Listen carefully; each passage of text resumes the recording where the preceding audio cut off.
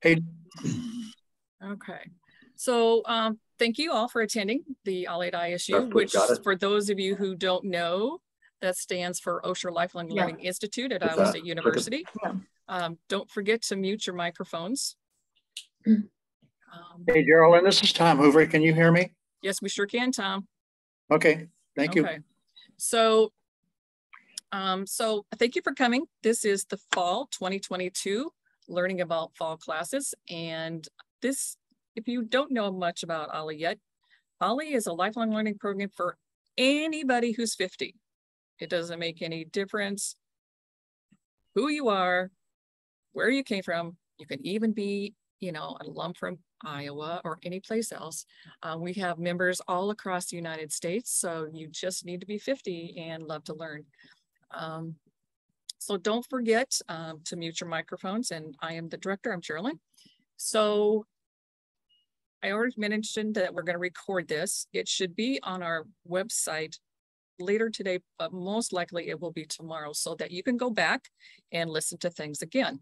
Uh, once we start the presentation, I'm going to change my view um, so you'll see the instructor.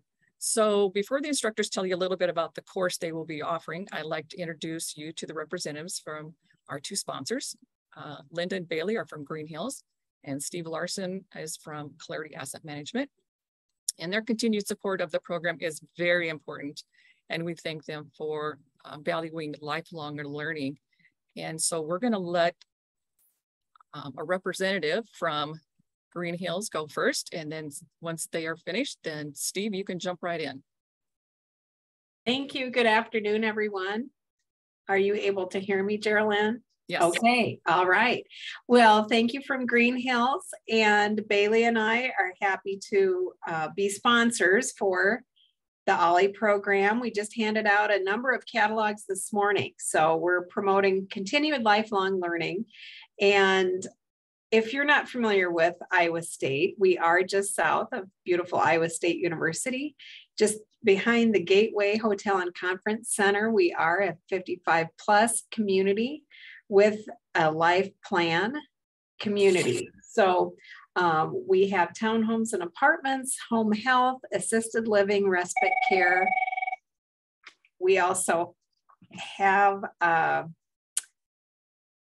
excuse my phone, we also have uh, short-term Medicare certified skilled care, long-term care, and memory care.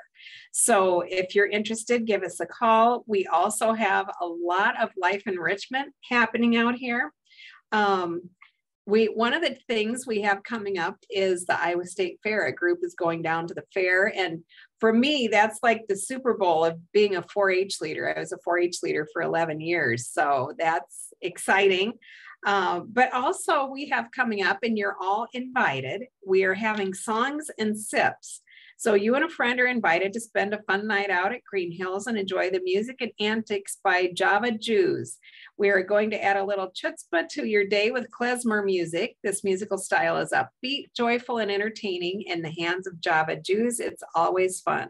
So we'll have drinks and hors d'oeuvres and August 23rd from 6 to 7 p.m and it's highly caffeinated klezmer music. And so please RSVP to Bailey Upton, marketing coordinator at 357 5000 greenhillsrc.com or info at greenhillsrc.com by Tuesday, August 19th. So we hope to see you there. Thank you. Hi, I'm Steve Larson. I'm with Clarity Asset Management. I'm uh, Chief Investment Officer for the firm. And uh, Clarity is a fee-only fiduciary uh, serving financial planning and investment needs of our clients. Uh, there's a there's an ancient Hebrew text, uh, the prophet Jeremiah, and there's a quote in there where the uh, the people, as they were scattered among the nations, were encouraged to seek the welfare of the city in which they live. Whereas the city prospers, they as a people will prosper. And we've kind of taken on that moniker for our firm that we exist in the Ames and Central Iowa community in order to seek the benefit of our city and our, our communities. and I really feel like that uh, the relationship that we have with clients is utmost importance and developing trust in that relationship so that as lives of people are enhanced and the community is benefited and as the community benefits, everybody benefits. So that's kind of our, our uh, marching orders, our mission. Uh, we serve holistically all financial planning and investment needs. Uh, we invest according to the client's values and goals. Um, and uh, there are a lot of labels put on our approach to investing, but most recently it's called environment, social, and governance investing or sustainable investing. And uh, that looks out for the best stewardship of natural and human resources and trying to invest in some of the best run companies. Uh, so if that appeals to you, I'd be glad, glad to have a conversation. Thanks. Thank, oh, we're also glad to support OLLI. We have uh, a value uh, that we have as a firm is lifelong and life-wide learning. And OLLI is such an excellent way to promote lifelong learning in Ames and Central Iowa. And, well, as Geraldine said, anywhere in the world by Zoom. And uh, I really appreciate the diversity and the conversations that are created through all these classes. So thank you. So I, I like to thank again both Green Hills and Clarity Asset Management for their support. It's it is very valued and we do appreciate everything you do for us. So now let's move on to hearing from the instructors. Except for the first two, you will hear uh, from those instructors able to attend today or sent a message for us to share with you in the numerical order um, that will show up in the um, catalog. So first, we're going to actually start with class number 20, 3233, and that will be Mike Kobu. Um, first, thanks to uh, Heather and Geraldine for for uh, rescheduling to accommodate a, a, conflict I couldn't get out of. Um, the course I'm teaching is How Divided Are We Really? Um, it's a hybrid course in person in the Horton conference room and online versus via Zoom. Um, it's three weeks, Wednesday, September 14th, 21st, and 28th from 11 to 12.30 uh, 11 a.m. to 12:30 p.m. Um, there's widespread agreement, especially among journalists and many political scientists, that Americans are divided eh, politically in a way that may be nearly unprecedented, perhaps more so than any time other than right before the Civil War. It may come as a surprise that political scientists are far from unanimous in agreeing uh, as to how divided we are and about the nature of those divisions.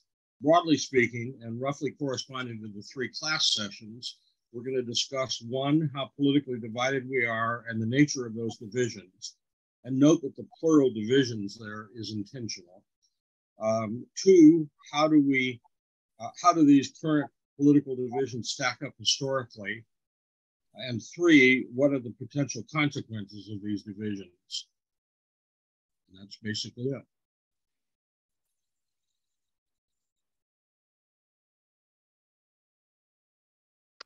This is Leroy Kester, course number 56, which is a day trip to Forest City, Iowa.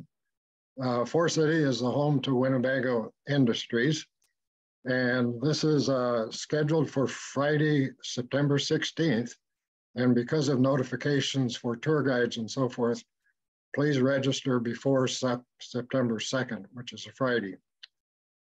On that day, we're going to depart from the parking lot there at the Alumni Building at 6.30. Head north about 85 miles to Forest City on Highway 69, where we will land at the Winnebago Motorhome uh, Visitor Center. Winnebago Industries started in 1958 as a manufacturer of small travel trailers, and then motorhomes were added in the 1960s. So from 8.30 to 9, you can browse the visitor center, use the restrooms, look at historic Winnebago products like the motorhome behind me, and uh, look at the gifts and the other apparel they have. Plus they have restrooms.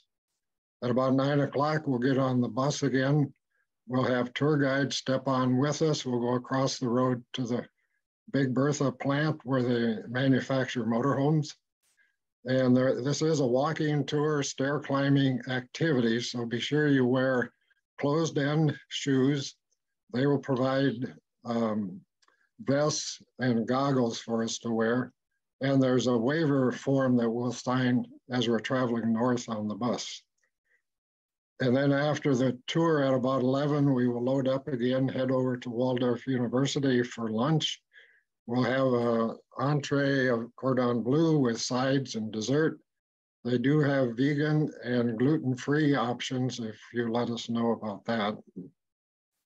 After lunch at 12.15 to about 12.30, we'll travel over to Heritage Park of North Iowa, which is a 91 acre site dedicated to preservation of America's rural heritage. We will have docents guide us through the museum areas. They have Timberland Museum, which has a large collection of Native American artifacts, other minerals, fossils, wood carvings, and more. There's a transportation museum, there's three log cabins, there's a 1900 farmstead house. And then for any of you that took Mary Lou's class on German prisoners that were uh, held in Algona, three of those barracks have been moved to Forest City and they're now at Heritage Park. Uh, next spring, one of them will be open as a Veterans Memorial uh, building, but that's uh, in process now, but they do have the buildings on site. At about 2.15, we'll load up on the bus again, travel east to Pilot Knob State Park. The park ranger will step on the bus and we'll have a narrated guided tour with the park ranger as we drive through the park. And then at uh, 3.30ish, we'll drop off the park ranger and head back to Ames and we should arrive back here by 5.30. So again, course number 56, please register before September 2nd. Hope to see you on the bus. This is Sam Wormley. I'm teaching course number one, Learning Mac Computers. It's an eight week class and it starts the 12th of September uh, and runs uh, from 9 to 10.30 in the morning. The goal of the class is for you to better learn your Mac, Macintosh computer and to enjoy safe, secure, and hassle-free computing. We cover all the hardware, software, applications, and there's an emphasis on safe practices and syncing with other Apple devices. The specific topics over the eight weeks are navigating the Mac, making life easier, contacts and connections, Mac resources, word processing, privacy, security and maintenance, backups, storage and sharing, and solving problems and getting answers. Thank you.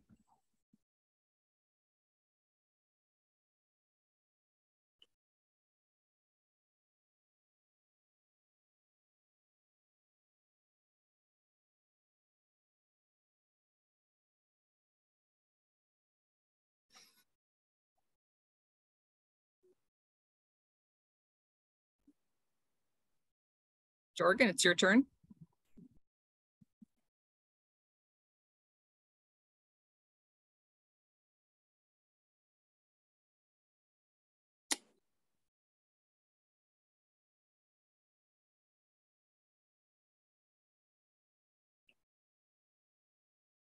Jorgen, are you able to unmute your mic or unmute your microphone?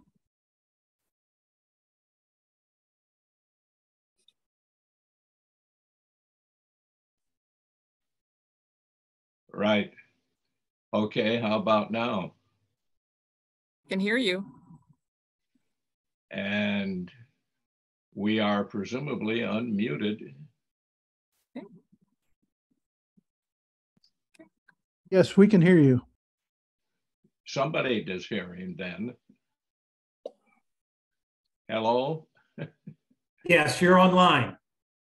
Okay, fine. If. I'm offline then and everybody is getting me, I'm Jorgen Rasmussen and I'm teaching the course number two, whether the Supreme Court should follow the election returns. It's a four session course. Uh, it meets first on the 12th of September, goes for four weeks, 11 a.m. Now, the last few years, the Supreme Court has created so much turmoil more than in any time in the previous 70, maybe the previous 90 years. And this turmoil has raised a lot of questions. For example, what difference does it make if a, a course or if a case has been decided a certain way in the past? Does precedent make any difference any longer? That's a crucial question. What if a basic right doesn't appear in the Constitution, isn't written there? Does that make a difference? Is it the case, as a majority of Americans believe, that in making decisions, members of the Supreme Court do not so much rely on the Constitution as they rely upon their personal preferences? And oh, yes, in this course, we will be looking at Dobbs v. Jackson, which is the course that overturned Roe v. Wade. Now, I'm aware that there are some people who think there should be no controversy in OLLI courses. We should all think the same thing. If you think that, don't take this course because this course deals with important public policy matters. There are certain to be disagreements, and I welcome those. If, however, you do decide to take this course, be sure that when you come to class, you bring the syllabus along with you because the syllabus is chock full of a lot of good supporting material. And I'm going to be referring directly to that. So if you were interested in these sort of current political issues and controversy, this is a course that you should be interested in. Thank you.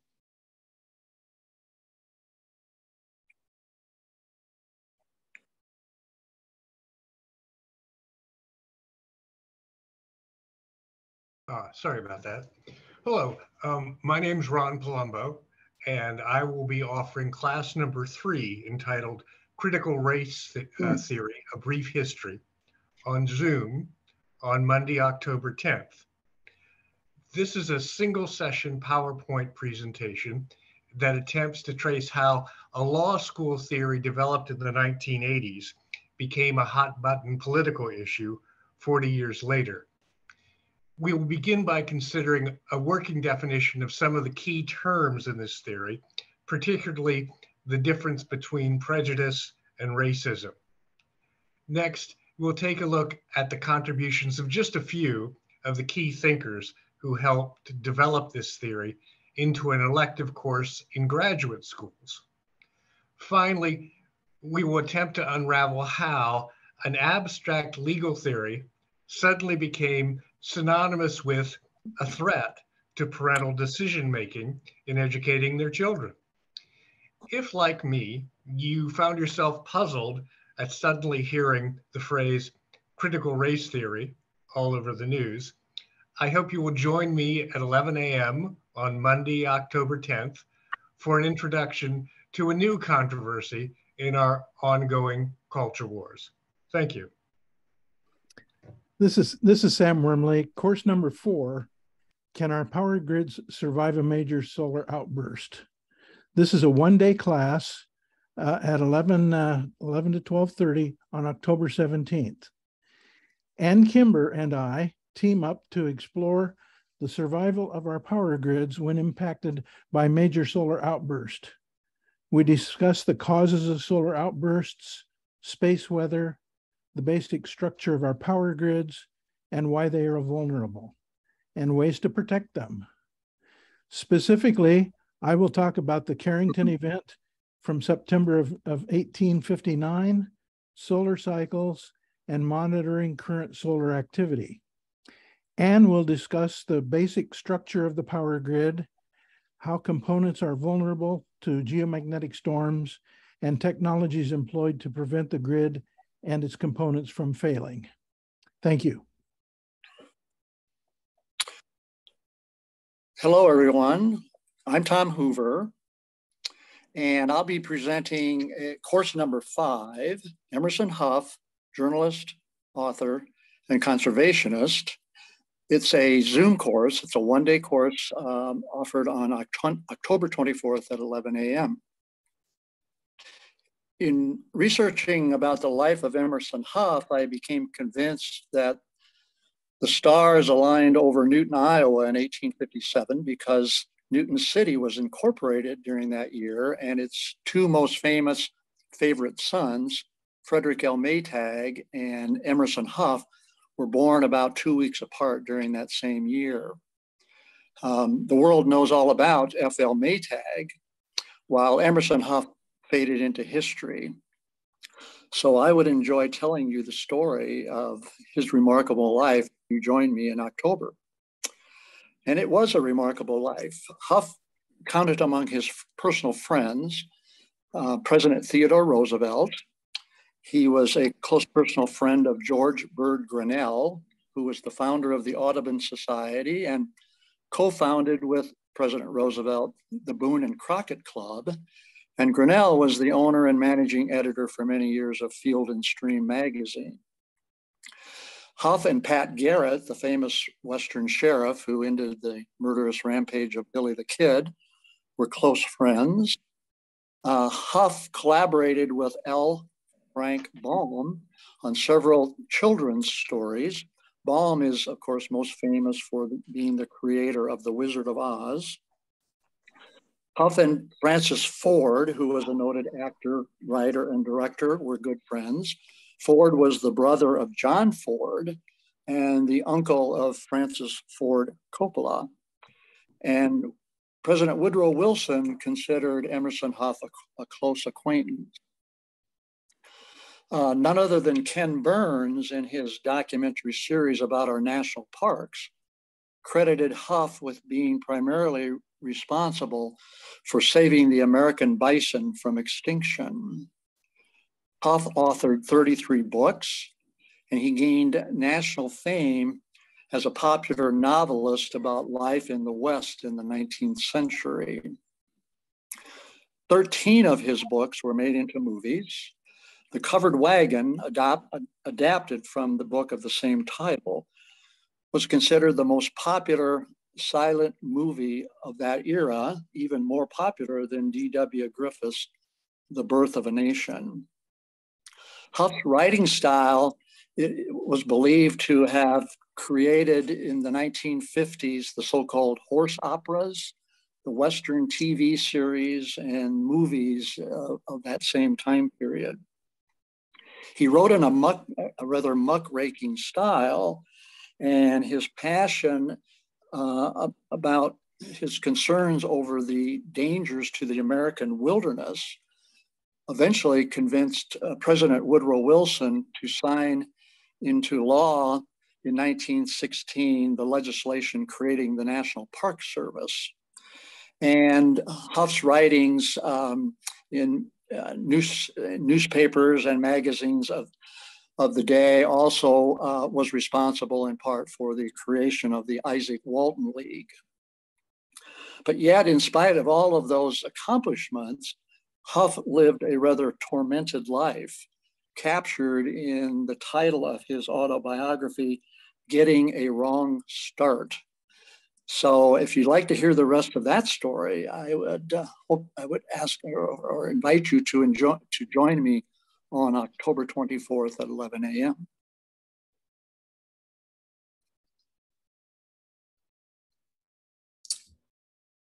I'm Alex Pfeiffer uh, with the Ames History Museum. I'm doing course number six, The History and Future of the Ames History Museum on September 12th, 2022 from 1 to 1 p.m. to 2.30 p.m.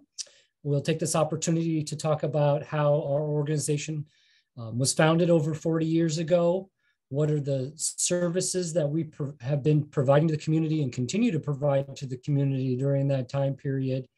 Um, some of the resources and collections that we have at the museum, and then also talk about what does the future look like for the Ames History Museum, primarily focusing on the re recent acquisition of the Ames Planetarium building and a capital campaign that the museum is going through to put an addition on the back of our building and restore the Ames Planetarium building. So we hope, I hope to see you there. Thank you. And this is Carol Rudy from the Museum of Russian Art in Minneapolis, Minnesota. I am the uh, outreach education coordinator for the museum. And as such, I have the privilege of developing all kinds of presentations and lectures on a wide variety of topics having to do with the Soviet Union and with the Russian Empire.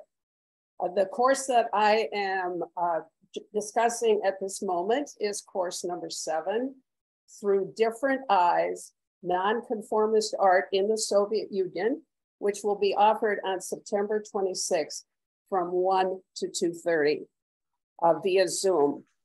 Uh, the uh, image I think that many of us have of Soviet art is probably rather one-dimensional. That is, we imagine lots of uh, lots of military uh, pictures, lots of grandiose history pictures, all touting the wonderful aspects of the Soviet experience and experiment. But particularly during Khrushchev's time and post Khrushchev, when the Soviet Union actually opened up a bit, a wide variety of nonconformist artists, artists who didn't necessarily fit that picture or that particular uh, official style of painting called so socialist realism, began to practice alternative visions and alternative styles.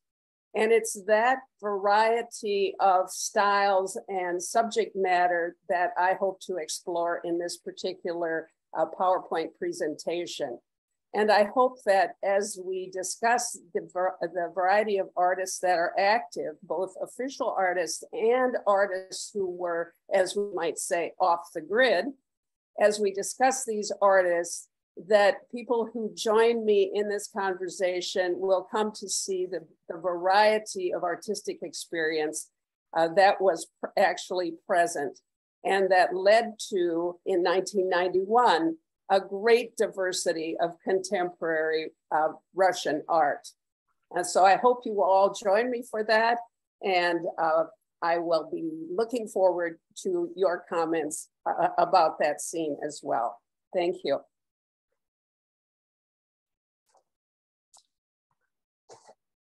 Hi, my name is Beth Larrabee, and I will be instructor for course number eight, Living a Better, Lighter, and Sustainable Life. This course meets for four weeks on Mondays, beginning on October 10th and running through October 31st from 1 to 2.30 p.m. Central Time. This course will be online with Zoom. Do you ever feel like your life is controlled by your stuff? There are lots of things we can do as individuals to live a more sustainable life while living comfortably. Our true wealth are our natural resources. In this course, we will just delve into strategies we can use in our homes, neighborhoods, and communities to preserve that wealth. We'll investigate everyday things like food, clothing, cleaning supplies. How do we choose housing, energy use, water use, waste management, plastics, how to manage a backyard, how we vote with our wallets, how we spend our money. We'll look at transportation and self care and even activism through a lens of gratitude and the ethics of reciprocity. If you need an extra motivation, the Earth Overshoot Day for the United States was March 13th of 2022. On this day, we in the United States had exhausted nature's ability to provide for us for the entire year. We make up for this by consumption of fossil fuels, which in turn drives climate change. We have been reminded about this as mul multiple flood events overwhelming Kentucky and California fights the McKinley Fire. So please join us for a lot of useful ideas and lively discussions and learning from each other. I hope to see you this October for living a better, lighter, and sustainable life. Thank you, Beth. Hi, I'm Anna McCracken, founder of the Ames Writers Collective, a virtual Zoom six week, and this is a virtual Zoom six week course, number nine, Let's Write Together. Weekly, we'll write stories about our lives inspired by writing prompts and read our work to each other to receive positive feedback. These sessions are based on the Amherst Writers and Artists Method, a philosophy that believes everyone is a writer. Additionally, I will supply mini craft lectures about the elements of a good story. Topics may include story structure, dialogue, sensory details, protagonist versus narrator. narrator. What, you may ask? I'm not a protagonist, I'm writing about myself. The mini craft lectures are based on my real life experience of writing my memoir. For example, last week I received editorial feedback from a New York based author and writing coach. She praised my scenes, dialogue, and developing myself as the protagonist, the character that goes from scene to scene to scene. That said, she was disappointed. My story, story currently lacks a strong narrator voice, the voice that deeply reflects, the voice that connects the reader with the narrator. So, in our sessions together, we'll discuss the aforementioned and share our stories with one another. I hope you will join me for Let's Write Together, a six week course, number nine in your catalog. Thank you. And this is Carol Rudy again from the Museum of Russian Art telling you about course number 10, which is the second course that I will be offering uh, this fall. It's called Ukrainian Vision, Artists and Their Cultural Vision, offered October 31 from 3 to 4.30 through Zoom. I feel as though I need to clarify a bit for all of you the name of the museum that I represent. We call ourselves the Museum of Russian Art because there isn't really a very good way to describe what we really do. And so, particularly in this moment when we see Russian armies invading Ukraine, we at the museum have had to be very clear that we too stand with Ukrainian people in what they are experiencing. And we say that because for us, the word Russian, as I mentioned before, covers both the Russian Empire's entire territory and that of the Soviet Union. So we have had many exhibits on Ukrainian art and folkways, as well as Russian art and folkways, and others from various parts of that great geographic district, including, I might add, an exhibit from Alaska. And so it is with joy that I'm able to offer several uh, presentations on Ukrainian art and in connection with that Ukrainian history. Uh, your program leaders have chosen this particular one for me to do uh, on a, in October. Uh, and it is the kind of presentation that covers the kinds of art and the way that artists have expressed themselves from ancient times, and I'm talking 4000 uh, BC to roughly the present, really to 1991. And during that period of time, we will, we will discover the enormous variety of both people groups and artistic expressions that were part of the Ukrainian experience, not only, but also contributed to what we know as Ukrainian. And so I hope that you will join me for this experience and for this glimpse into Ukraine as we go through and look through the eyes of its artists. Thank you.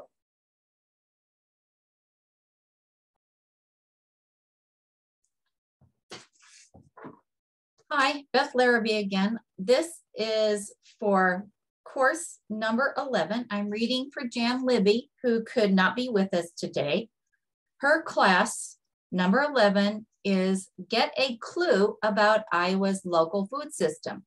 It will meet for one day, Monday, October 10th, from 5.30 to 7 p.m. Central Time and will be presented on Zoom. So now I'm reading her words. It's not the professor with the candlestick in the library. It's our food system and it's oh so much more than your local farmer's market. During this class, we will play an interactive game of Iowa Food Systems Clue with multiple rounds of information and interaction. Similar to the old time favorite game of Clue, participants are invited to work together in this case to share their knowledge and together expand everyone's Iowa food systems insights. As a host, of Iowans from all across our food system spectrum and the Iowa Food Systems Coalition, we are working hard to craft a food system plan for Iowa. Join the class and learn how you too can be part of this exciting action.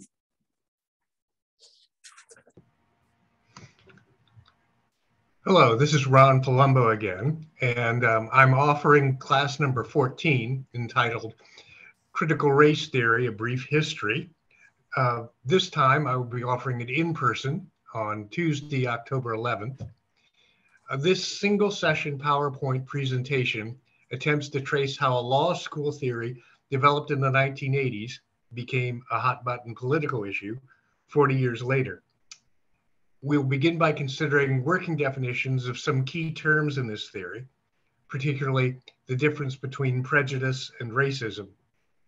Next, we'll take a look at the contribution of just a few of the key thinkers who helped develop this theory into an elective course in graduate schools. Finally, we will attempt to unravel how an abstract legal theory suddenly became synonymous with a threat to parental decision making in educating their children.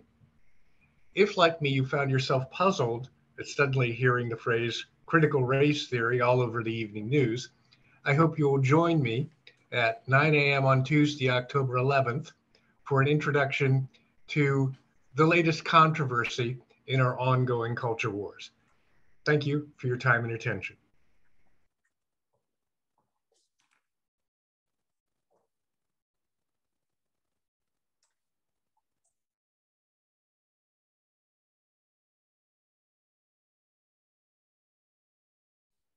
Beth, you're muted.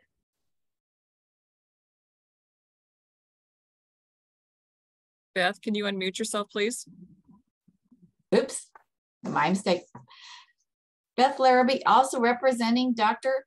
Amber Anderson and Dr. Lee Burris for course number 15, Sustainable and Regenerative Strategies for Farmland. And this is a course that will be presented as a hybrid, both in person and on Zoom. This course will meet for three weeks on Tuesdays from October 18th through November 5th from 9 to 10.30 a.m. Central Time. Regenerative agriculture strives to work with nature rather than against it and is more than just being sustainable.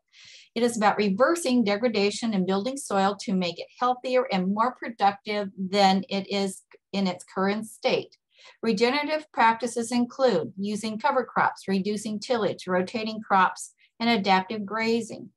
All these strategies also reduce greenhouse gas emissions, increase carbon sequestration, increase drought resilience, strengthen yield stability, and increase biodiversity.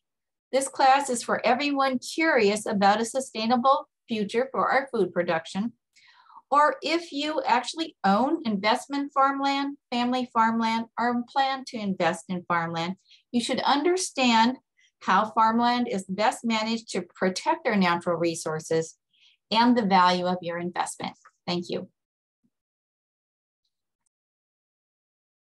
This is Dan Becker. Can you hear me?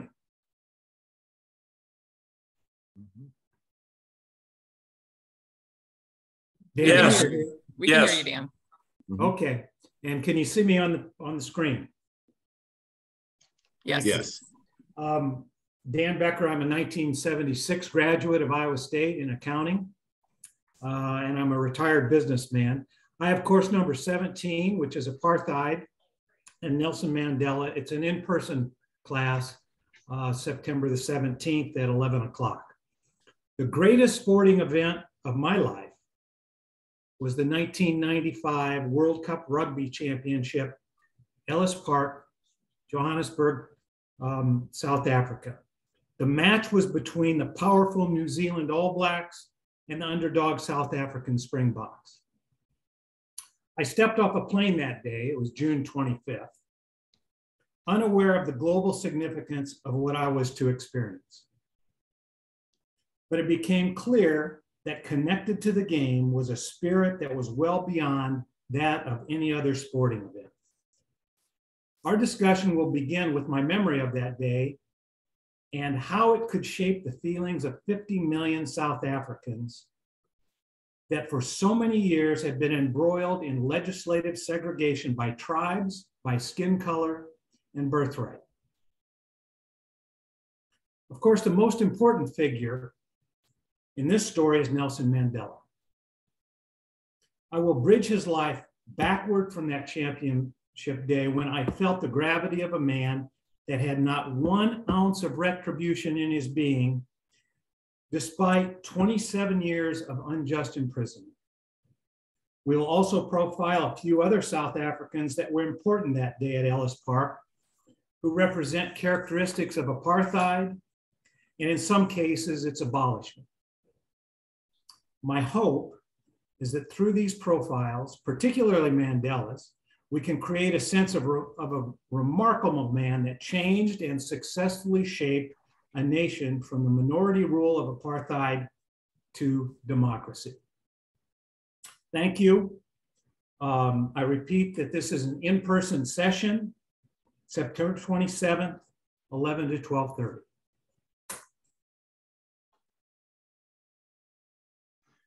Good afternoon. My name is Steve Jones, and I'm here with Course 18. 99 years ago, last week, a 16 year old girl accompanied her husband to Ames, Iowa.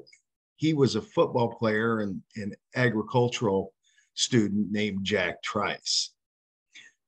About two months later, she left Ames for decades before she came back as a widow, a 16 year old widow. This course is a single session course called Cora May, the, the other half of the Jack Trice story. Jack Trice, as most of you know, was Iowa State's first Black athlete and also the only athlete in Iowa State history to die from injuries suffered on the playing field. His story uh, is an amazing one from the note he wrote himself the night before uh, and uh, enduring all the uh, prejudices of, of the era. That he came to Iowa State is, interesting. And the story uh, from Cora May's standpoint is quite interesting. She was a student at Iowa State, wasn't here very long, and then she took um, she went went home. She never finished college, but she tried to make sure that her children, through her her uh, second husband, were all educated. It's it's a it's a pretty good story. So we're going to look at the Jack Trice story through the eyes of his wife and her life. Because when I speak to groups, often I'll ask, what happened to Cora May? Where did what did she do? Well, then I try to explain the best I can. So this course, Cora May, the other half of the Jack Trice story is October 4th at 11 a.m. It's in person. I believe it's hybrid. Um, I hope you'll be able to uh, join us. We'll have a presentation and a discussion and learn more about one of Iowa State's most famous former students. Thank you. Hello, everybody. My name is Jane Cox, and this is class number 19. And it's a class called Iowa State in World War One and World War II. And it will have two different sessions, Tuesdays, October 11th and 18th, uh, from 11 to 1230. So I think when most people think about Iowa State's contributions in World War One and World War II, they think about the Manhattan Project. And certainly that was a very important uh, part of what was going on at Iowa State. But there was, there was so much more. And so this course is going to talk about how the war affected the students, the faculty members, and the greater community. And the two wars were very different in uh, the way in the way that that uh, happened in in terms of the campus. Uh, World War One, 51% of the men who served in World War One from Iowa were farmers. In World War II, um, most farmers were exempt from serving out of the quarter of a million Iowa men and women who actually served in World War II. And they were exempt because of the need for food, not only in the United States, but also it was being shipped to Great Britain and all the other allies as well. And of course, we all know food was rationed. This is my mom's sugar ration book that she had in World War II. And uh, so food production was very important. So we're going to look at that in terms of World War One and World War II and also campus life. And in addition, we'll look a little bit at the aftermath because in World War One, of course, uh, what was called at that time the Spanish flu came along and actually killed more people than had died in World War One. And Iowa State certainly did not escape that tragedy. So we'll look at that. And in World War II, we'll also uh, look at the GI Bill and the thousands of men and women who came back to begin college or to continue college. And anybody who remembers uh, Court, we'll talk a little bit about Pammel Court and um, how the university tried to help in every way that it could um, with the returning students after World War II was over. So I hope you'll join me for this course. I think there's a lot of wonderful information, and I think it'll make you proud of your school and uh, of your community. So thank you, and hope to see you in the class. Hello. My name is Homer Gartz. Am I on? Yeah, they said yes.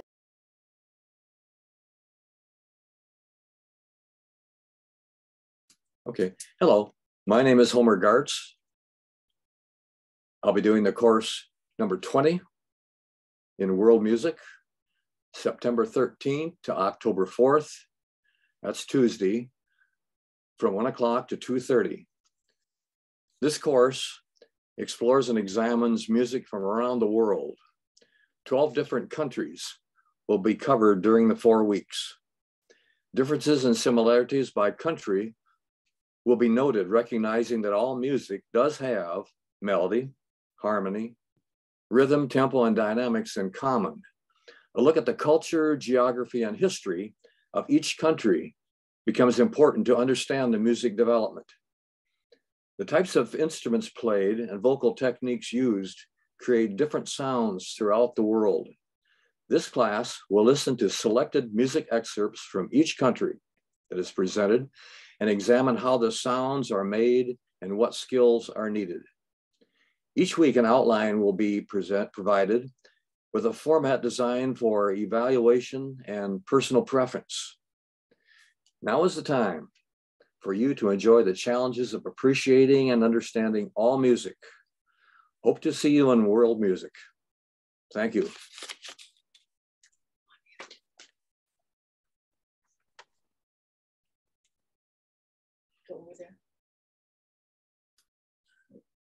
Hello? Hello? Hi there. We hear you.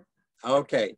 Uh, hi, I'm Charles Kniker, uh, and uh, along with Vivi Raman, we are team teaching course 21, holding civil conversations on common ground issues for democracy.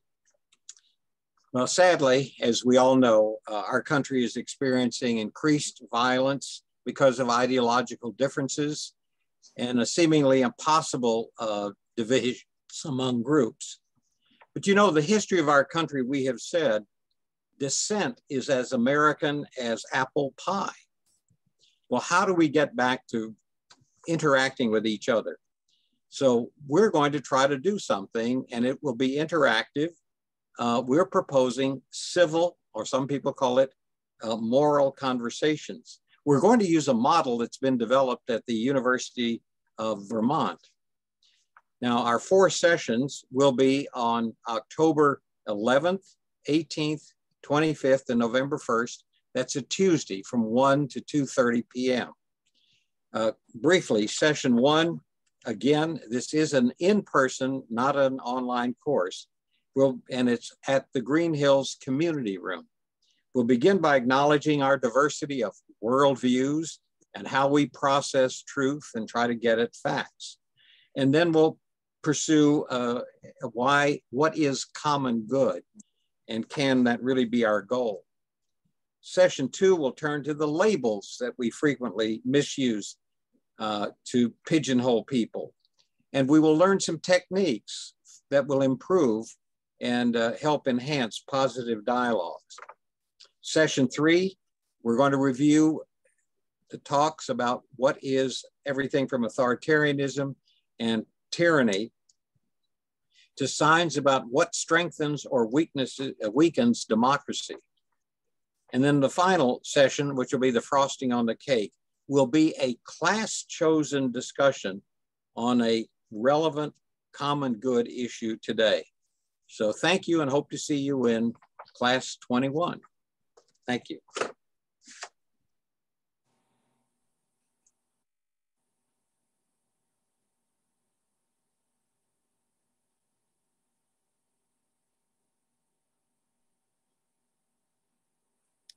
Jane, it's your turn.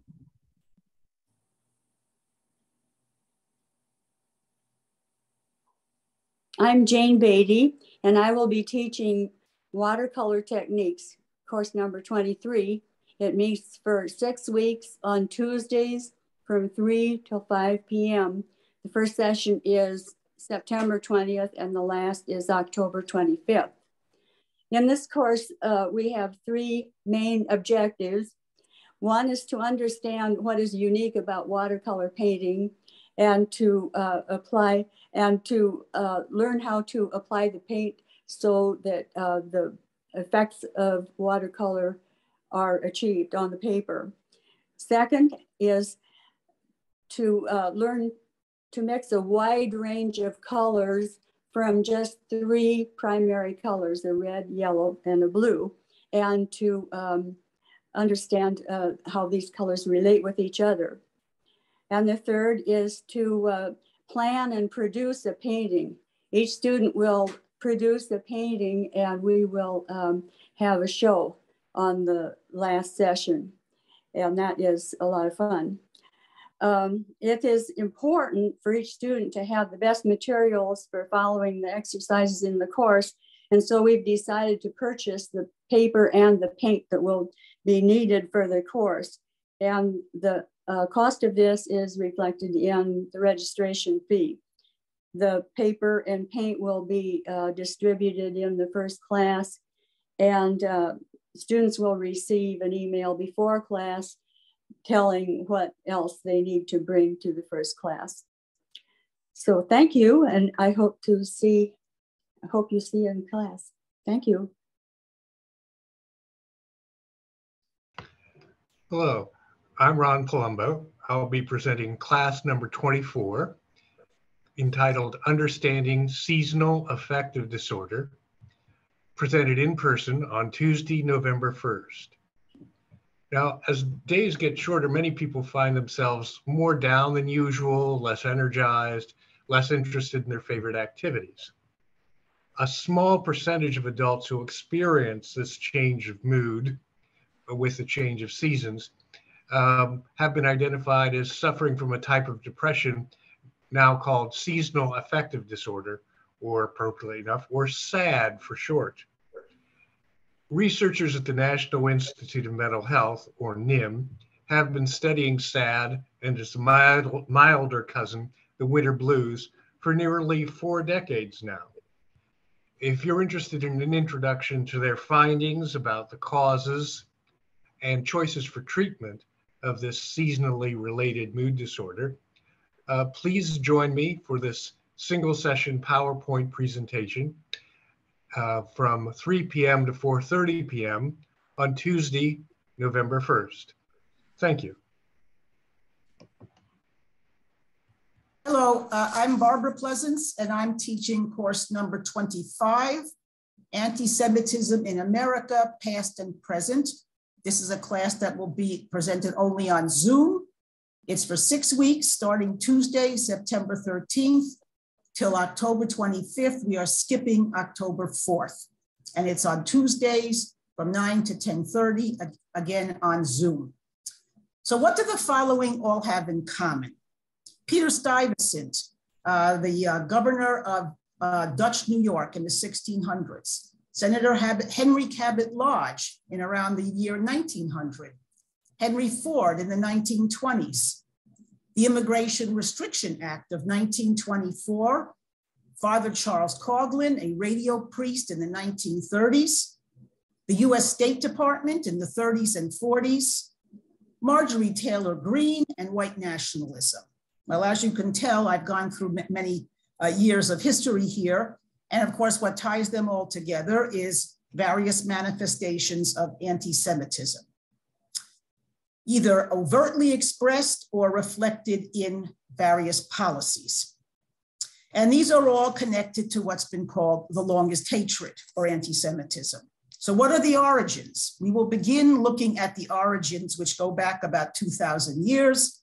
Of course, not in this country, obviously, and then move to colonial America. And as we look at the growth of the Jewish population, we will look at the various ways in which anti-Jewish or anti-Semitic uh, incidents and attitudes affected people in many different ways, from subtle prejudice, public or institutional uh, policies, threats of violence or actual violence, as we saw at the Tree of Life Synagogue in Pittsburgh and as was threatened in the Colleyville Synagogue just a few months ago.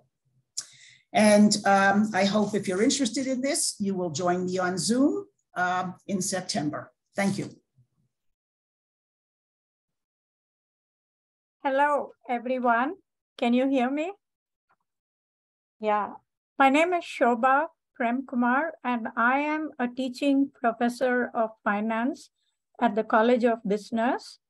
And my session ID is 26, and it's on Bitcoin. It's a one-day presentation on Tuesday, September 20th from uh, 11 a.m. to 12.30 p.m. Bitcoin is a digital currency launched in 2008 by a pseudonymous person called Satoshi Nakamoto. Since then, Bitcoins and several other cryptocurrencies have surged in popularity worldwide as a medium of payment as well as investments. Unlike fiat currencies, they are intangible. They are purely digital and they are not controlled by any central authority such as banks or financial institutions. And um, there are 15,000 merchants worldwide who accept Bitcoin payments. In US alone, there are 2,300 companies, and some of the well-known and prominent companies include uh, Microsoft, Home Depot, Whole Foods, Etsy, Overstock, and Tesla also accepted Bitcoin payments for a while and then changed its mind. So El Salvador has accepted Bitcoin as their legal tender. Many of the countries are also experimenting with their own version of central bank digital currency. So this course is for one session and we will be exploring the benefits of digital currency, talk a little bit about blockchain technology, which powers Bitcoin, and also discuss some challenges. I hope you all will join me and find it interesting and informative. Thank you. This is Sam Wormley. I'm going to teach course number 27, photography trip, uh, photography tips and techniques. We used to call it photography trips. uh, this is a six-week class and runs from 11 a.m. to 12:30, uh, starting September 27th. This class really covers uh, major principles of photography. In the simplest terms, we work on capturing what you see and how you want to depict it. We will concentrate on the nuts and bolts of our cameras, uh, composition, lighting, photojournalism, post photo processing, sharing, backup, and storage. And really at the heart of this class is that each week we will share photos taken with each other, share photos with each other that we took in the previous week and uh, uh, support each other and critique the photographs and, and really learn from each other. Thank you. Good afternoon. My name is Chuck Octor. I'm teaching class number 28, uh, the 60s.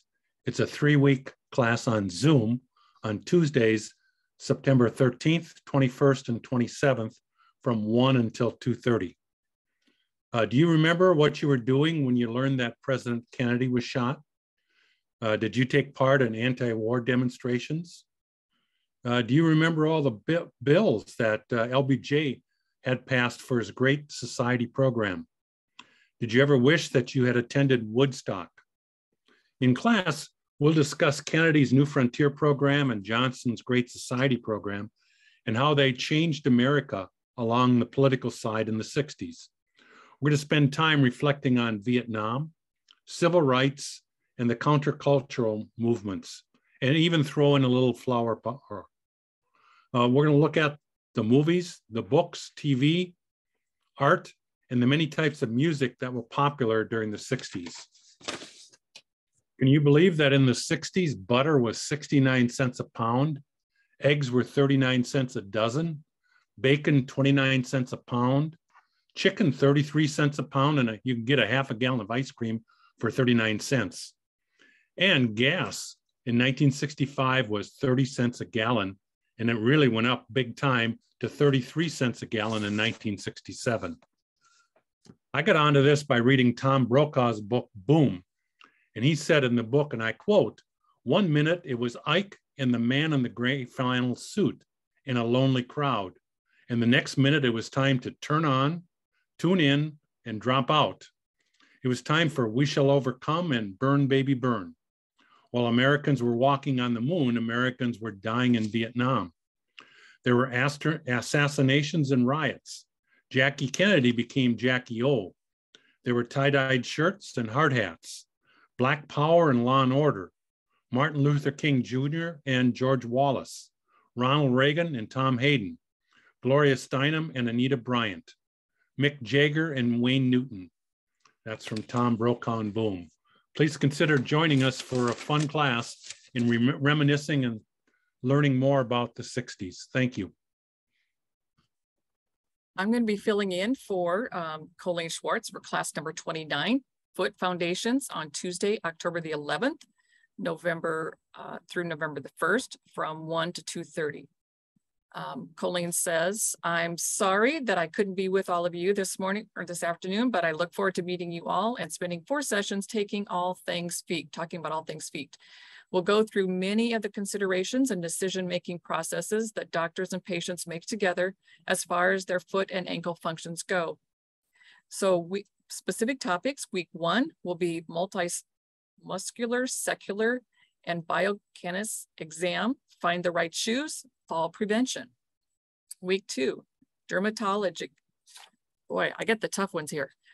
Um, exams, over-the-counter treatments, and infection prevention. Number week three, vascular exam, senior foot care. And week four, neurologic exam. And November is Diabetes Awareness Month. There'll be plenty of time for questions and discussion, as well as interactive stretches and ex exercises taught. Step into your fall and winter with a better understanding of your foot function and foundation.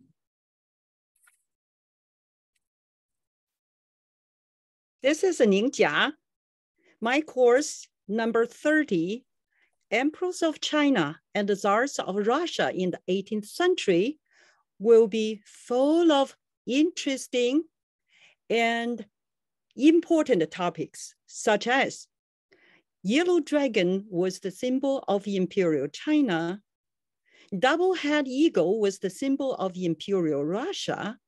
Where did they come from? How did the emperors and the czars associate themselves with those symbols? In another example, when the two empires signed the treaties, they put seal stamps on the treaty documents. What did these seal stamps look like? Why were seals important to their bilateral relationship? We will find it out. Most interestingly, the Russian threat to claim back Alaska in response to US sanctions in the current Ukraine war requires our knowledge of history regarding the US purchase of Alaska in 1868 to answer the Russians back. History of Russian Alaska goes back to the 18th century. This course will cover that. In a very pleasant, enjoying way, engaging way, you will have a good learning experience in this course. You can also be a significant contributor to our learning as well. This course on Zoom will meet four times on Tuesdays from 3 to 4.30 from September 13th to October 4th. I hope to see you in the class. Thank you.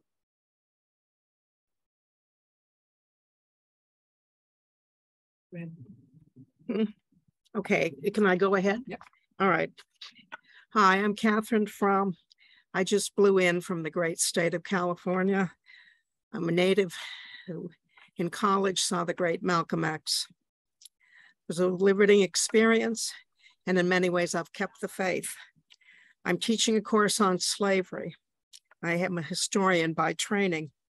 This is a very powerful subject, a brutal reminder of what humankind is capable of. We start this course with the Portuguese, then the English, the Dutch, the French, who journey down the African coast and finally involve us all in an Atlantic world, which is underpinned by the profits made from slavery. We'll consider, because there's the information is recently available, the British slave empire, and also very well researched, very well understood in this country, the lay of the land for the Deep South and the states in which slavery was practiced. Recent scholarship highlights a lot of subjects, and more interesting and maybe a little lighter would be the African American contribution to Southern cooking uh, and African Americans claiming their, their due out of that subject. There are also quilts, which give us the history, and women continue to sew and carry on even African patterns. Finally, we'll feature the movie Glory, which is a Civil War movie with an African American troops led by a Massachusetts um, member of the elite or Brahmin who go forth trying to capture a southern fort and magnanimously fail. Uh, this, this movie some time ago won Academy Awards. Participation in this class is welcome. Questions are welcome and informed opinions. Thank you.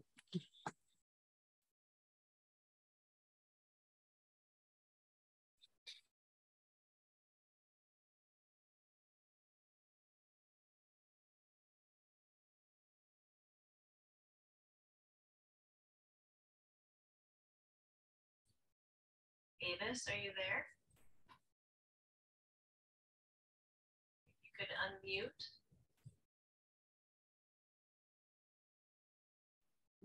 There we are. Can you hear me? We can. Okay, good. Um, I'm Avis Pohl. I'm a certified financial planner, and I have spent oh, 25 to 30 years helping people manage their money. And um, very recently, in fact, when the pande pandemic started, I think I became so aware of people who could be in the hospital, maybe got dementia or, or Alzheimer's or something, because I had time to touch base with some friends I hadn't heard of for a long time. And uh, I realized that many of the people who were my age have lost spouses um, and had illnesses and this kind of thing. So that made me really aware that people should get their ducks in line as far as their finances are concerned. so my class is, um, is 30, number 34 and 36, and it will be September 14th and September 28th 1 to 2.30. And that's going to be the same class twice. So uh, I'll give it in two, two sessions, but it'll be a repeat each time. Uh, when I gave it last time, last spring, uh, it was very popular. I, it was I did it online and on Zoom, and 64 people came. So I knew that if we had such a good uh, uh, interest in it this time, um, I couldn't handle 64 people live. So I've broken it up into two sections. And it's going to be very easy for us to do it live so that we have some interaction. And this is going to be um, a class that will help people get their own ducks in line. Many of us have said, gee, I've needed to do this for a long time. Um, I should have put this together a long time ago, but I didn't have time. Now, if we're retired, we probably do have time. So I would like to just tell you one way you can do it is to buy this book. It's, um, let's see, there we go. It is called Get It Together. Uh, it's available on um, Amazon, but this one is the ninth um, edition. And in September 27th, the Nolo is coming out with a new edition. The reason that they need to put different editions on is because there's a lot of state specific things in there, a lot of websites, and a lot of things about laws that have changed uh, since the last publication. Um, I have um, worked with the uh, BAM here in town, Books a Million, and uh, they haven't been able to get a lot of copies, but they would take orders from people and you wouldn't have to pay the postage for it to be delivered to your house if you wanted to buy it at BAM. You need to tell them that it's uh, you're from Avis Pohl's class, but that's a very good way to get yourself jump started on this. Um, in the class, we're going to talk about powers of attorney. Um, you'll have a, a, half of it is going to be on discussion between between family members. Uh, once upon a time, people would say, "I don't want my kids to know what we have, so I don't want to tell them till till I die." Well, we're not going to wait for people to die before we get powers of attorney, we get all of the finances li lined up. Because if somebody becomes incapacitated, let's say from an accident, from being hospitalized, um, having dementia, having Alzheimer's, um, leaving all of that information for somebody to pick up and take, take your shoes and run with them, there's got to be a way to keep that together so that the person in your family or your friends or whatever um, would be able to pick up this information. And that, that big book is very nice, but thanks to Geraldine and her, and her contacts, uh, we were able to find this book.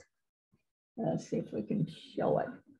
Don't worry about writing it down, because if you come to class, you're going to get a copy of it. And it's from the American Institute of, for Economic Research called If Something Should Happen, How to Organize Your Financial and Legal Affairs. And it's everything that I talked about in the last sessions. We're going to talk about them again. And this time there will be a workbook and we'll even give you pencils so that uh, with erasers, right, Geraldine? So that uh, as this information changes, uh, it can be changed too. Then if somebody in your family uh, needs to know what's going on because maybe you went on vacation for a month and somebody had to pay the bills or take care of the dog or any of that. Um, they need to find this book to know how to pay your bills. We're also going to talk about all those powers of attorney, the different kinds of powers of attorney, that people have while they're still alive because powers of attorney end when somebody dies, then the executor of the estate takes over.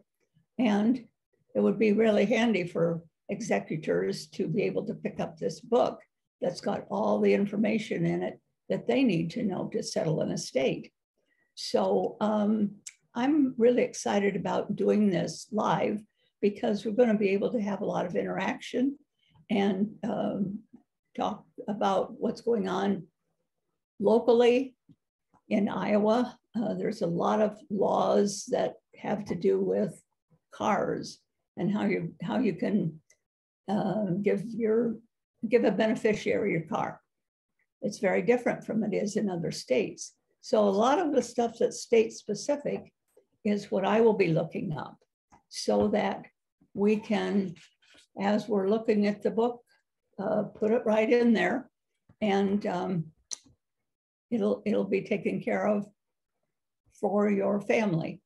Then the other, um, the last hour will be how to have a discussion between family members. I call it intergenerational discussions, but sometimes it needs to be inter sibling discussions. But uh, I had I put together a checklist, and we're going to go through that and do some um, excuse me, do some um, discussion on how we can approach all of this within our families. Actually, this um, all of the stuff that we're going to put in this book doesn't have to be for just retired people or parents. I think anybody who has any property at all, or at least as an adult that owns something, should be putting this together. So everybody's going to get a book, but if you need more um, pages of it, I will be able to give you a PDF with the, those pages that you can share with your family. So Geraldine, thanks so much for finding this. This is going to make our lives much easier and much more fun to be able to put it into the live sessions. So I hope that everybody will give this a, a shot and uh, let me help you get your ducks together or get them in line anyway. Thank you. Thank you very much for letting me talk about this today. Hello again, I'm Jane Cox, and uh, this is course number 35, and this is going to be Irving Berlin, the Dean of American Songwriters. And it will be a one session class on Wednesday, September the 21st from one o'clock to 2.30. Anybody ever heard this song? Blue skies smiling at me, nothing but blue skies do I see?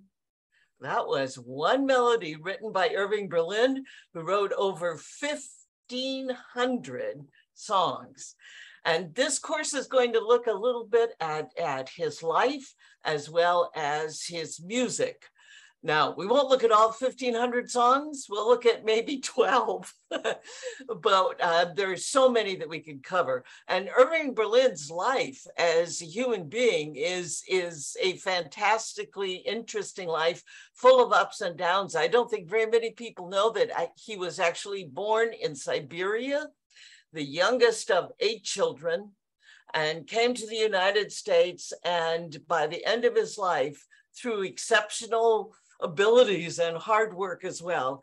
Uh, he was known throughout the world. He was uh, living the American dream in lots of kinds of ways, having lived through World War One, where he was drafted as soon as he became a U.S. citizen, World War One, uh, the Depression, World War Two, and uh, wrote music throughout the whole time. He his life was a fantastically interesting life, and his music is going to is going to live. You know, uh, somebody asked him one time if he was writing for posterity, and Irving Berlin replied, "No, for prosperity."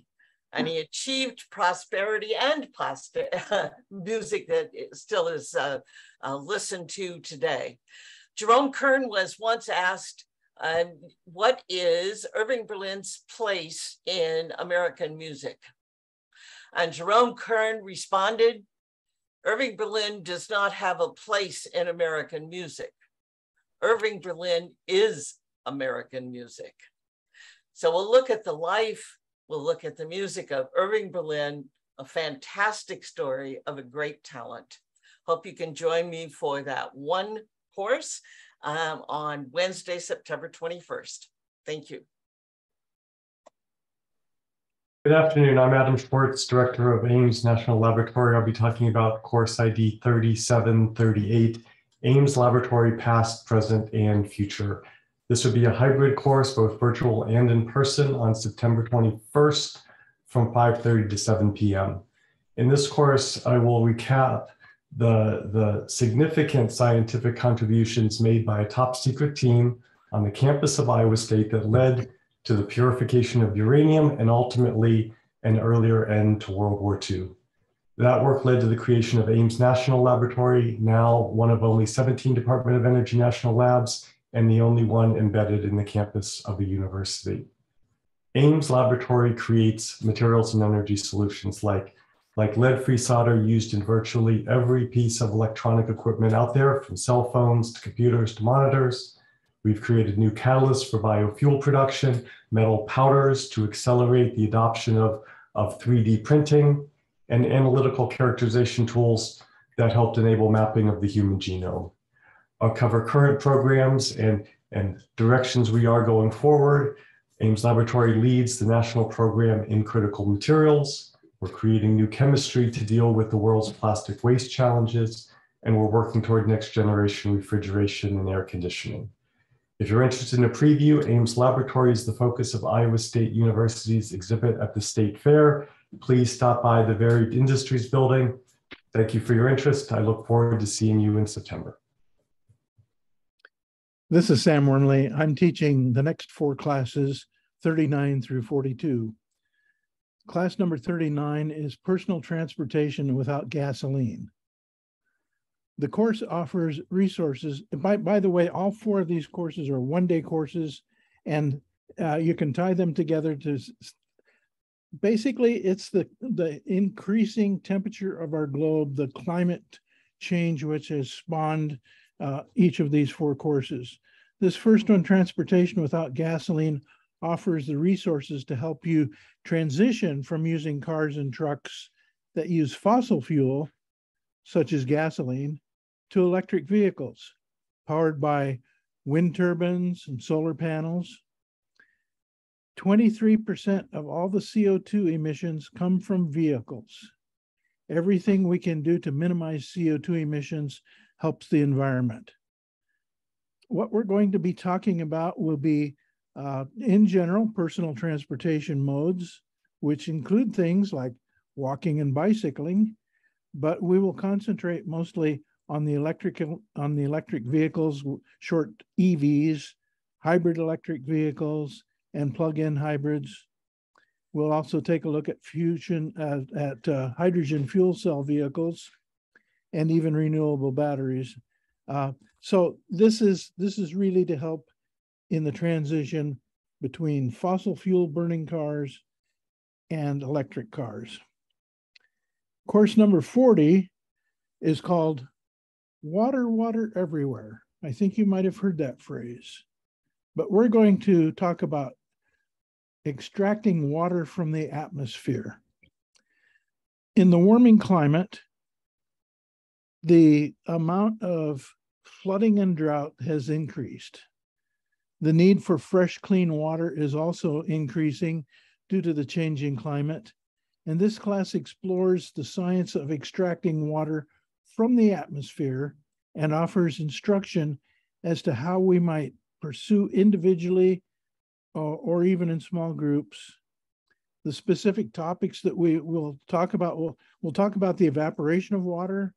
We'll talk about materials known as metal organic frameworks, uh, which can elect moisture, and the, uh, as uh, as the as the air temperature is cooling, the moisture collects in these structures, and as it warms up, then it liberates it as liquid water. We'll talk about the condensation of water, passive harvesting of water, and active harvesting of water uh, with renewable energy. Course number 41, heat waves, uh, cause and survival. sooner or later, we will experience an extended heat wave due to warming climate. This class explores the science and meteorology, and most importantly, how can we stay cool in high heat and high humidity, even when the power fails?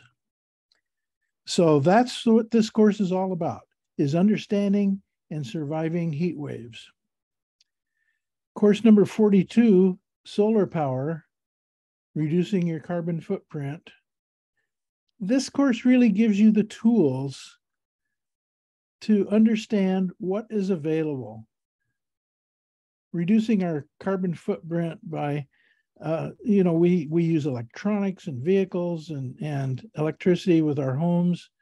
Uh, and if we can convert to wind or solar energy, that's what this course is really about. Not really the wind, but the solar, because that's the kind of practical thing we can do, putting uh, small solar batteries out for our electronic equipment or putting solar panels on our homes. Uh, and the goal is to give you the tools to find out what's available to be able to do cost comparisons, uh, costs of installations, and what other limitations you might have to think about. That's what we cover. In the fourth class of the, these four, number 45, whoops, excuse me, I jumped one. No, I covered them all. Okay, I'll, I'll be quiet. Thank you. Thank you, Sam. Those are beautiful uh, offerings that you're making. I appreciate hearing them. Uh, hi, everyone. My name is Daishin McCabe.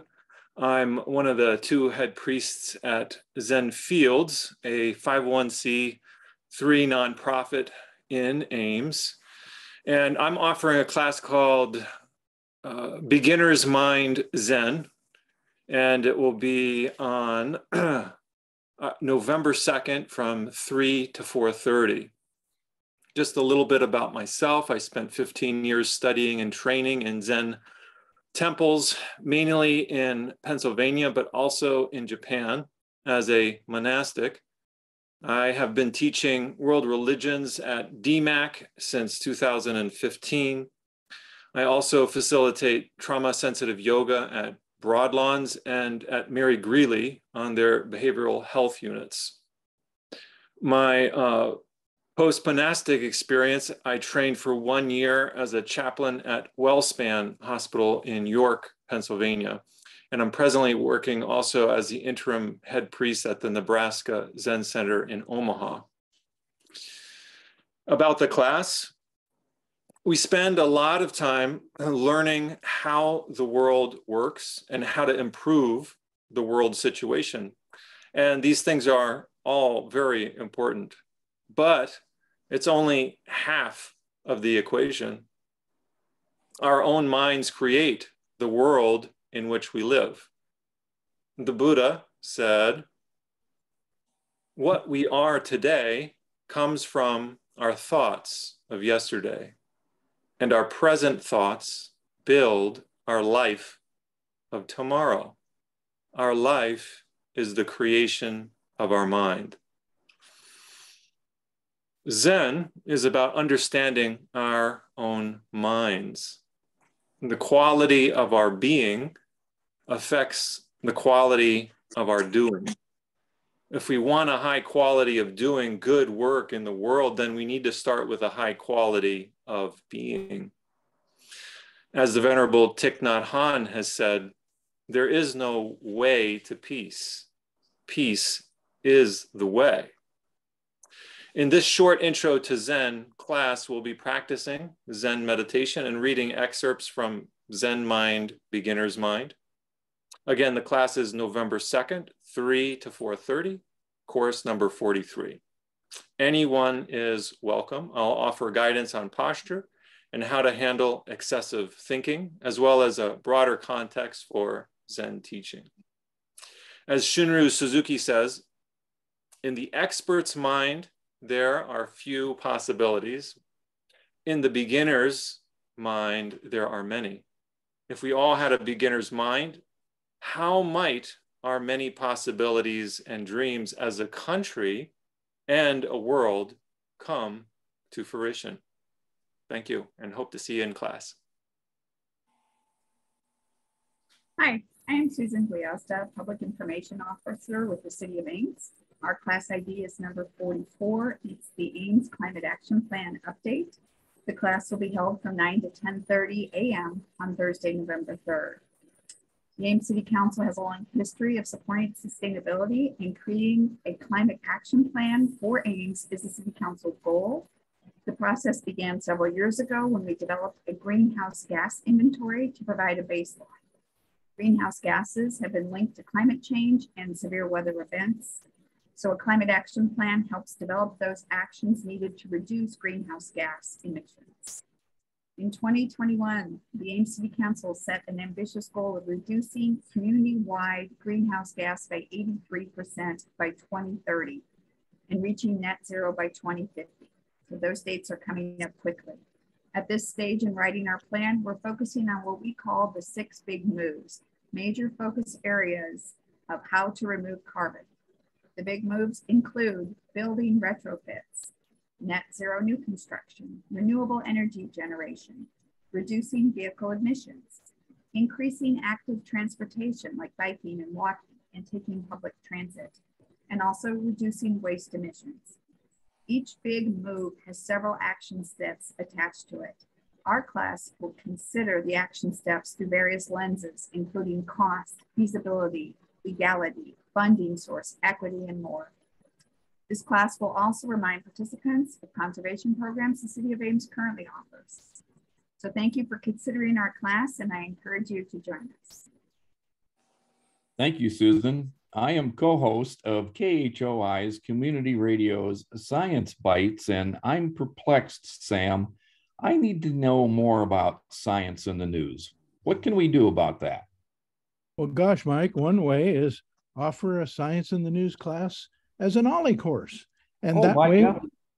yeah, we can have we can have all of those uh, students that participate in the class read science articles ahead of time, uh, science that's occurred in the in the week just prior to the class, and we can really digest that all together.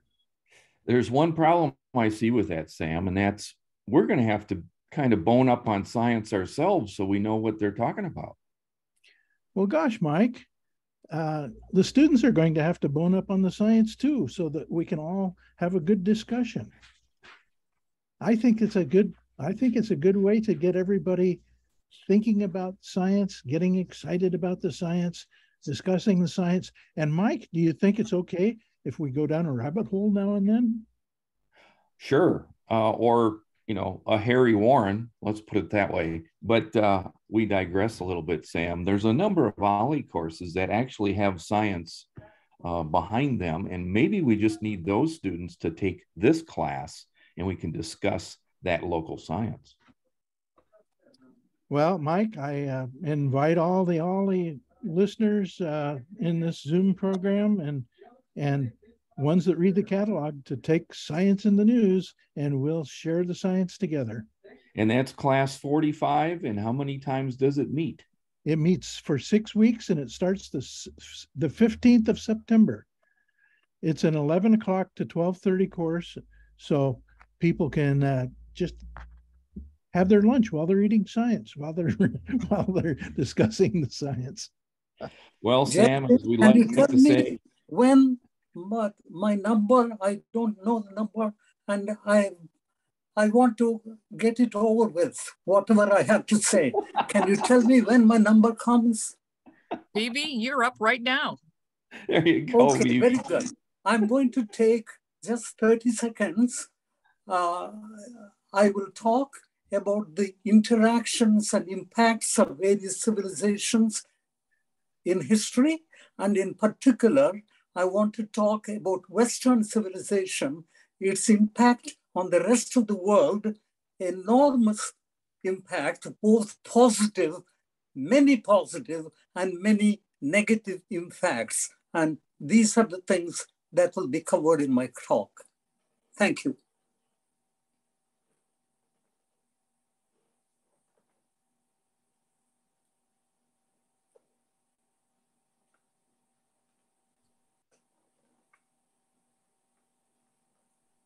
Jenny, you're up. Hi, thank you. My name is Jenny Barnett, and I am the museum educator at the African American Museum of Iowa.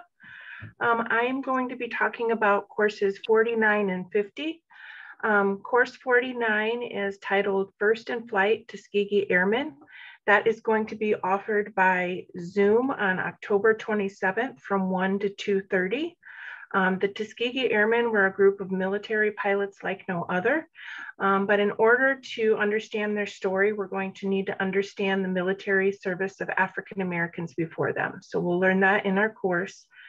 The Tuskegee Airmen were extraordinary individuals, and from their ranks came the first Black general in the Air Force, the first Black commander of a racially integrated Air Force unit, and the nation's first Black four star general. Their bravery, courage, and skill made strides towards military desegregation and carried the US forward just as they carried themselves forward as the first in flight. And then my name is still Jenny Barnett, and I'm on course number 50. Um, course number 50 is titled Behind the Beat. That is going to be offered on Zoom on November 3rd from 1 o'clock to 2.30. This presentation is going to utilize music to explore African American history through a review of Black contributions in music. During this presentation, you're going to enjoy many different styles of music and song. The types of music you'll learn about and hear are African beats, spirituals, blues, jazz, R&B, rock and roll, hip hop, and many other forms of modern music.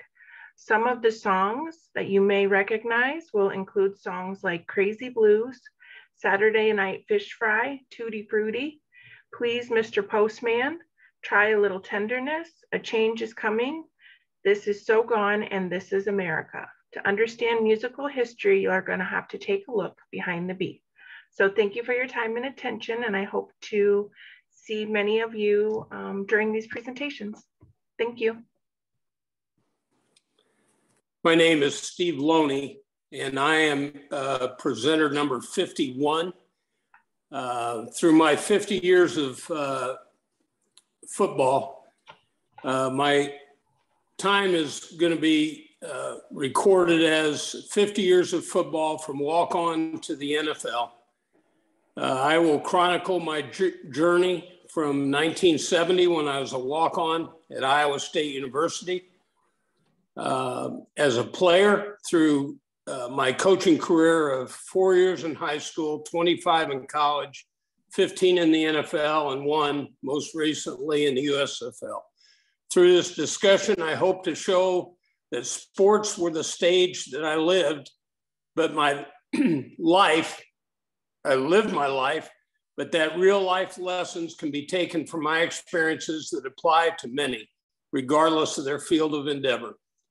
Those experiences traveled through the highs of being a part of a team with the best record in the NFL, setting NCAA records, being hired to fill a spot that put me in a position only 63 others held in this country, to winning only one game, being fired, unable to find employment, and trying to find a way to provide for my family of five on an annual salary of $10,000 when I was 41 years old. Uh, my wish for this class is to be interactive with questions uh, and input from the students. I learned long ago that you learn every day and you can learn from everyone with which you come in contact. Uh, the presentation will be student driven as we talk about leadership, organization, excellence, uh, in any direction we might head. It's going to be offered uh, live and on Zoom uh, September 15th, 3 to 4.30 p.m. Uh, Lynn Maves is not able to be here today, but she sent some information for me to share with you. So this is class number 52, more yoga for everybody, not everybody, but everybody uh, will be on Thursday, September 29th through October 20th from 3 to 4.30 p.m. Central Time. Join me for fun for four sessions of gentle yoga for all bodies. class featuring the, the yamas of yoga. Don't know what the yamas of yoga are? Tune in on Zoom in September and October with me to find out.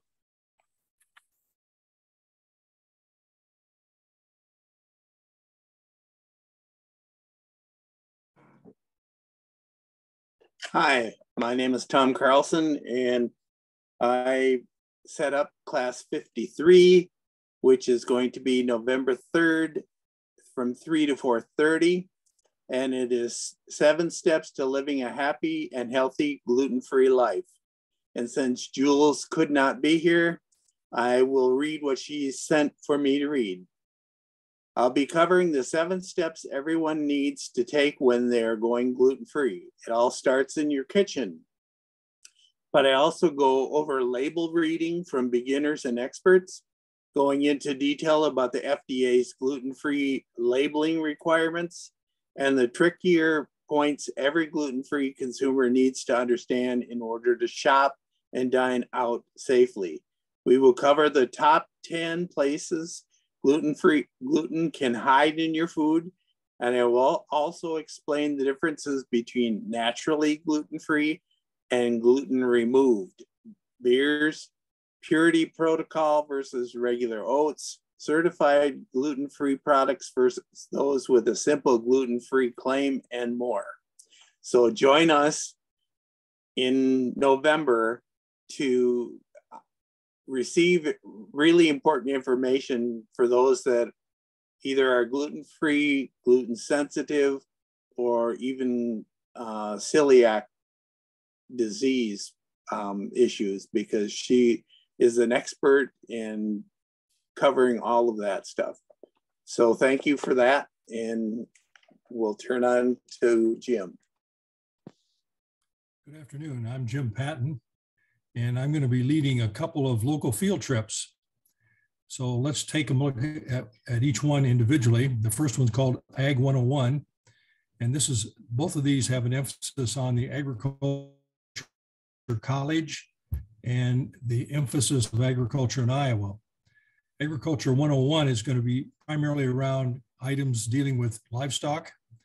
Uh, one of the first things we're going to, first of all, we're going to be driving out to the sites, which are all fairly close to Ames. So you'll need to have transportation or share transportation with someone.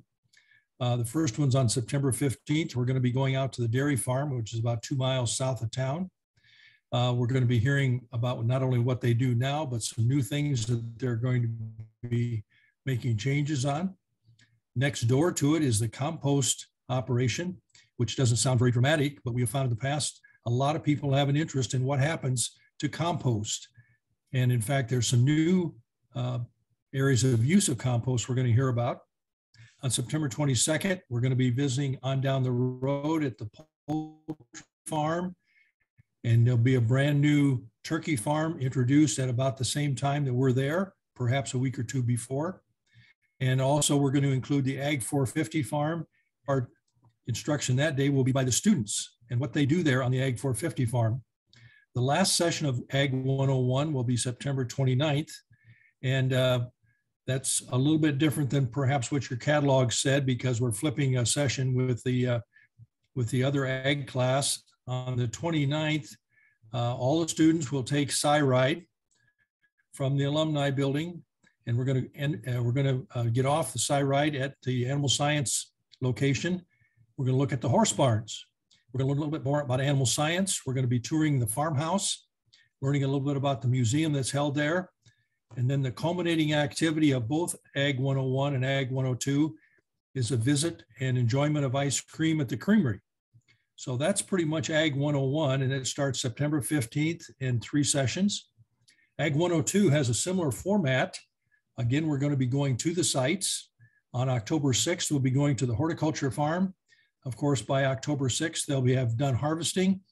We're going to learn a little bit about some new innovations of turf management October 13th, the following uh, Thursday, we'll be going to uh, the BioCentury Agronomy Farm out west of town, out near the uh, United Community School. We're going to learn about some new products and some new equipment at those two locations. And then the third session on uh, uh, Ag 102 will be a visit by, by, uh, by CyRide a visit to Curtiss, some of the history of the Ag College, why we continue to have a top 10 rating in the, in the world of an ag institution. We're going to look at some of the remodeling there as well as in agronomy and over into the uh, food science building and enjoy some ice cream at the creamery. So two fairly local field trips, a little bit different. They're all going to be in person. There'll be some walking involved. So we encourage people to wear shoes accordingly. And both of them will be culminated in the third session by learning how to use CyRide. So we would invite you and encourage you to attend Ag 101, emphasis on livestock, and Ag 102, which is a combination of horticulture and agronomy. Look forward to seeing you then. And I'm back, and we're talking about number 57, uh, Jefferson field trip. It is Friday, September 23rd from 9 a.m., where we'll leave to 5 p.m.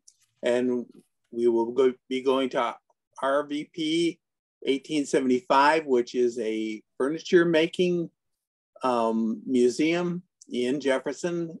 They will use the woods that were grown in Iowa at that time and the basic equipment to process furniture that they used during those times. After we have a um, instructional class there, we will have a three person um, presentation of Fiddler on the Roof preceded by a lunch at the same place. We will then go to Deal Orchards and we will be given a tour. We will have a chance to partake of some apple ciders. We and also either apple pie or or apple dumplings. And you'll be able to view the different things that you can buy there. And then we will proceed back to Ames to finish the trip. Hope to see you then. Thanks.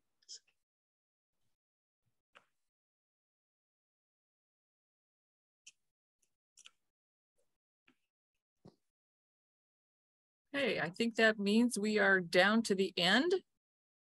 And for some reason, my picture's not moving, but that's all right. Um, don't forget, tomorrow is the first, uh, first time to get in um, to register for classes. It will open up online at 8.30 a.m. Central Time. So have your classes picked out, your credit card ready, and uh, Heather and I will be more than welcome to take all those registrations. Now what we'll do is that if you would like to talk, uh, ask any of the instructors any questions, you can do that right now.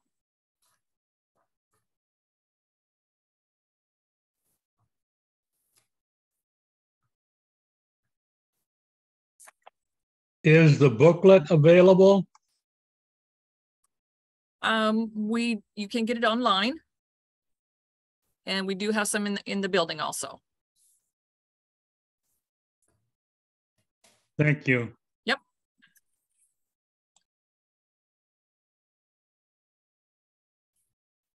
Did I miss the presentation on class number 48? He was not here. The person was not here. Thank you.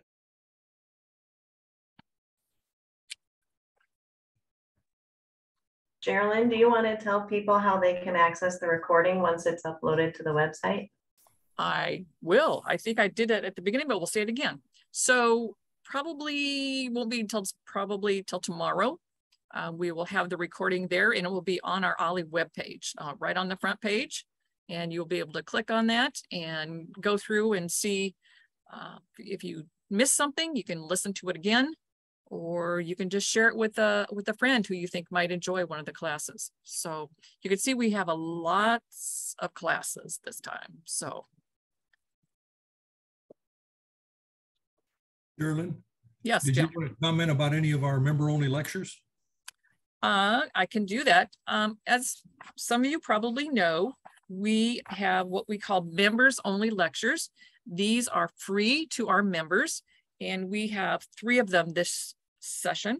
Uh, there's the causes and consequences of the Russia-Ukrainian war. That's on Wednesday, October the 12th. Then on October the 19th, it's the Rush, or 2022 Russian-Ukrainian War, a history of nations, grievances, and institutions. And then on um, October 26th will be the 2022 updates of the status of global climate change impacts for Iowa. That one will be strictly online. And on the first two, we will do it as a hybrid. So we will have it here in the building. And for those at a distance or who don't want to come in the building, you can watch it online. I have a question for Mike. Uh, my wife said that uh, she doesn't want to take the course if she has to read the science articles ahead of time. Uh, what do we tell people? Don't forget to unmute.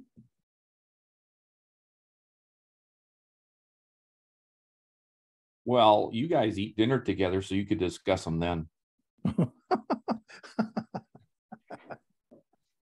I would say if you don't want to read the course classes, that's fine. Um, input, you'll you, will absorb it as we talk about it, and it will peak a number of different questions. So don't let that stop you if you don't want to read the articles. And Janice asked a question through the chat. She wanted to know if we record all the members only lectures. With the uh, presenter's permission, we will. And at this point in time, I am not 100% sure which ones we'll be recording, but we will let you know that as it happens. Good question.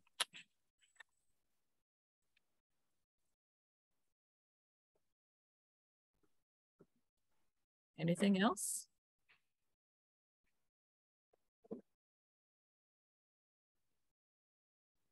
I just wish I had time to take all the classes.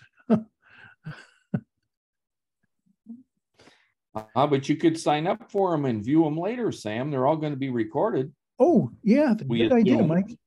Well, not all of them will be recorded. So. Well, the ones the ones Sam are interested in will be recorded.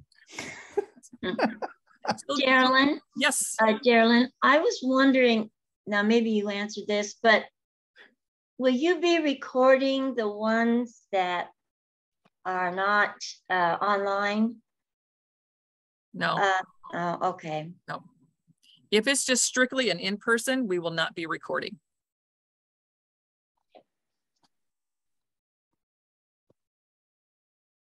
And then you probably noticed from the catalog that there are three classes that are going to be held in person uh, at Green Hills. So those will be great. Any other questions? There's a question in the chat if we will record the members only lectures this session. I, I answered that one. I said some of them, I need to talk to the instructor or the presenters first, but we, the intent is that we will if they give us the okay. Someone wants to know where's the ISU Alumni Center? If you're in Ames, um, if you know where CY Stephens is, and if you know where the football stadium is, we are that beautiful brick building um, by that big, huge parking lot, and we are built into the side of the hill, and that's where the Alumni Center is. So. And class number 47 was not presented. The instructor was not available to join us today, and we did not get any con any information ahead of time. But he, if I remember correctly, yes, he was a presenter in the in the spring session. He was very good. So class and uh, somebody wanted to know about class number 12 and 13. Are those still being offered? I believe so. Let me check my calendar here. Not my calendar, my catalog. Yes, that's with Jeff Schroeder. Um, Jeff could not be here today. So he's going to be in person and as a um, online and hybrid. So we'll have people here in the building and then some people can watch it from home online. We probably should have mentioned that as we went through the list. Sorry. Geraldine, I've I've seen the class listing in the OLLI newsletter that you sent out recently, but I've not seen a separate course catalog like we've seen in, in past sessions. Okay. Uh, will there be one of those? I believe one should have been sent out along with the invitation to this meeting. Um, there should have been a link to that. if you go to the OLLI homepage, then let's see here. If you go to the homepage, you go down about halfway and to the right-hand side, you'll see a big picture of the catalog. And this ah. is what it looks like. It's got beautiful fall leaves on it, by the way. And this was taken by an OLLI member, Judy Lovings. So, and if you don't find that, Bruce, let me know. Thank you. Okay.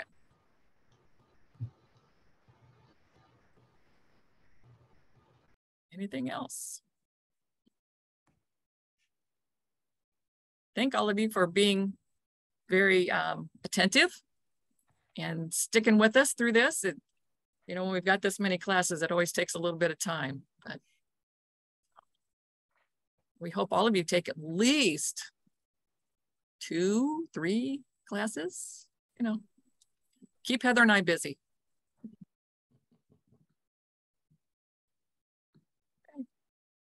Last chance. Well, I just want to say thanks, all, thanks to all the instructors for all those classes you're offering. Thank you. Yep. I, we couldn't do this program without those presenters. And of course, without all the committees, the curriculum committee does a tremendous amount of work. And then technology, I mean, all the committees do a great, they do a great amount of jobs. So. Uh, this is Ned McCall. Hi, Ed. Hi, and uh, just wanted to comment that uh, I'm looking forward to these many classes I want to take. One class that you have here, I regret that you're not going to be on, on I'm in Minneapolis. I, I wish it were going to be online. That's the Urban Berlin talk. I would really like to see that, but yeah, uh, it won't be. But just wish it had been. Well, you know, sometimes it's always a good idea that maybe we redo, repeat classes every once in a while because sometimes it doesn't work in a schedule. So maybe we could get uh, Jane to do that again, that same class, but maybe do it online in the spring. That'd be great. Thank you. So there you go, Jane. There's a little plug for you.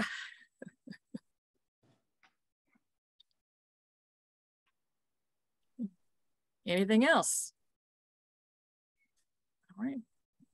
Last call. As we say at my family when we're all leaving. All right, everyone, have a great day. We'll see you soon. Take care. Bye-bye. Well, thanks, Geraldine.